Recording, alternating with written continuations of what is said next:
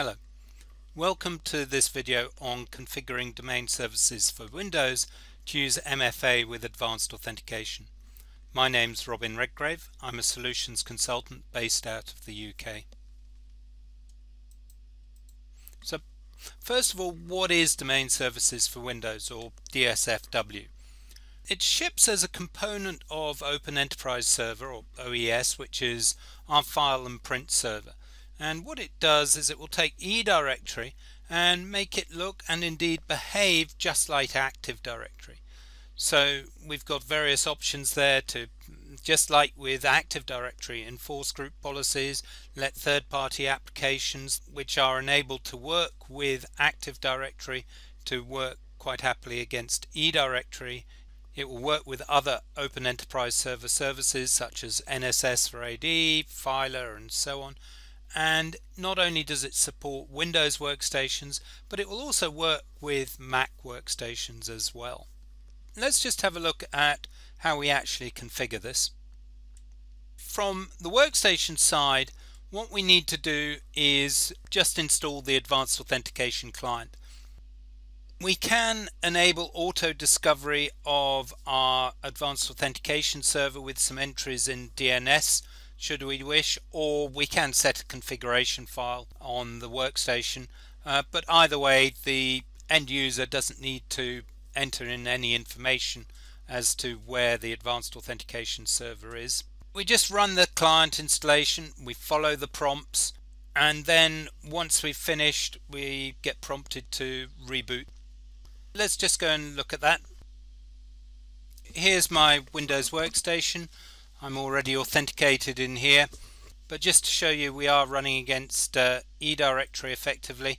Let me just log into iManager here. Because eDirectory is looking like AD we've got administrator as the master user rather than admin. And let's just have a look here and go and look at my tree. You can see here that it's a very active directory looking environment that we've got there. And let's just go and look in here. So you can see uh, again that I've got my environment. I can manage these users for instance straight here. Uh, the thing to remember is that this isn't going against a copy of eDirectory. This actually is eDirectory. So when I make a change here that's going to making the change against eDirectory. It's not going to get synced or anything. It is eDirectory. Actually, I most probably can show you. Let's just look in the um, properties of the uh, computer here for my domain controller and you can see here that it's running on SUSE Linux Enterprise Server which is the base operating system that Open Enterprise Server runs on. Let's just go and run the install. You can see I've got my Windows components Windows client and I'm just going to install that 64-bit version. Click next accept the license agreement click next. We'll take the default path and then do the install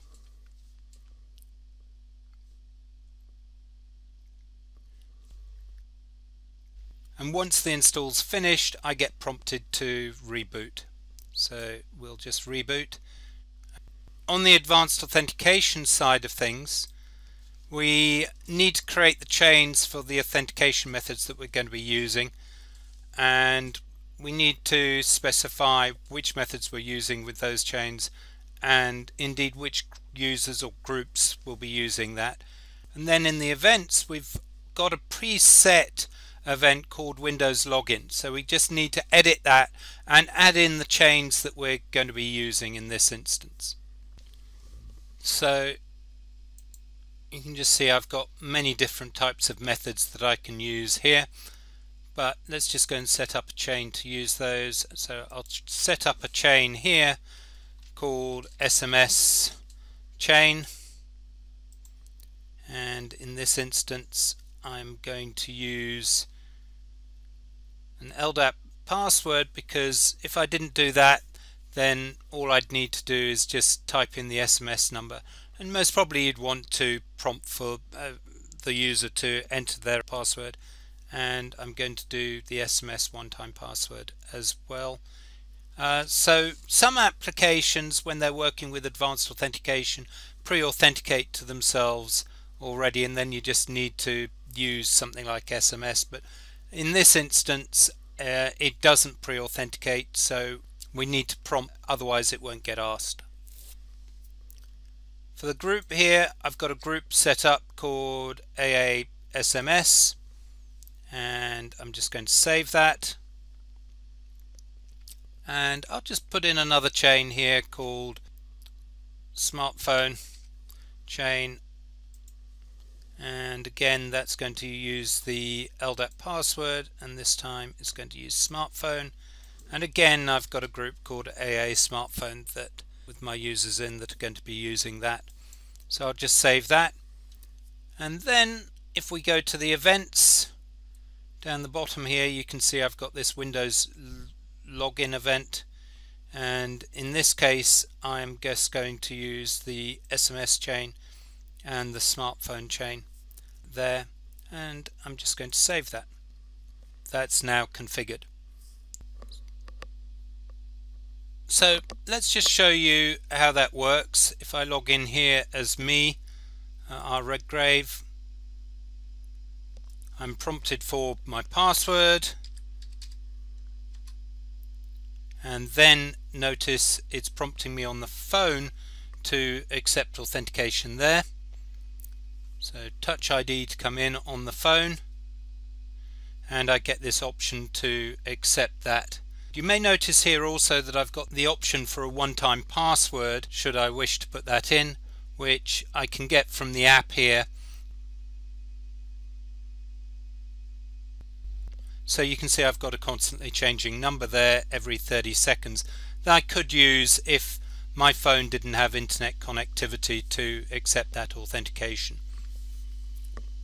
So let's just show you another authentication method there. Let me just log out as me and take a user that's in the other group. So here I'll log in as a user called A Marsden.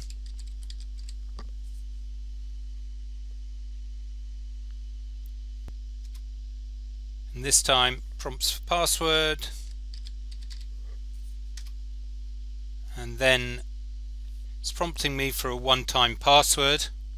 And you can see I've just got an SMS come in there. And down the bottom there you can see the code 317587 and you can see there that I've authenticated. I hope you found this video useful. Thank you for listening.